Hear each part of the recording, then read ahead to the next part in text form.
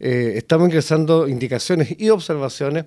que no alteren nuestro régimen tributario y que la gente que está en zona franca hoy día pueda gozar de, una estabilidad eh, de sus inversiones hacia el futuro. O la gente que está acogiendo a la ley Navarino eh, o a la ley Tierra del Fuego para usar como crédito fiscal y la, inversión que hacen no se vean afectados por esta depreciación inmediata. Eh, en el fondo lo que queremos precisiones de la ley y también en una, dos normas que podrían ser tomadas como eh, parte de mejorar la, la recaudación, estamos solicitando que se haga un cambio respecto a la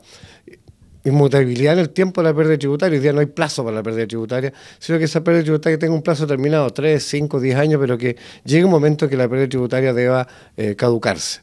Y lo último, eh, sobre todo por las viviendas en Magallanes, eh, construir en Magallanes es mucho más caro que construir en el resto del país, lo asume el Estado a través del Serviu, donde el subsidio a la vivienda es mayor. Eh, estamos pidiendo que no se calcule el, valor comercial de las 2.000 UF para la aplicación del impuesto, sino que sea el avalúo fiscal de la vivienda y no el avalúo comercial. Porque en Magallanes, si no, la gente estaría obligada a comprar prácticamente un poco más que viviendas sociales y nada más, con ese monto de dinero exento.